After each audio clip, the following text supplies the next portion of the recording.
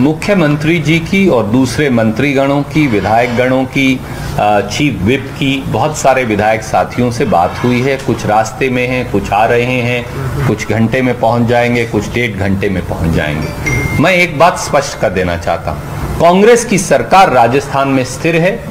कांग्रेस की सरकार को संपूर्ण बहुमत है। कांग्रेस की सरकार पूरे पाँच साल का कार्यकाल पूरा करेगी।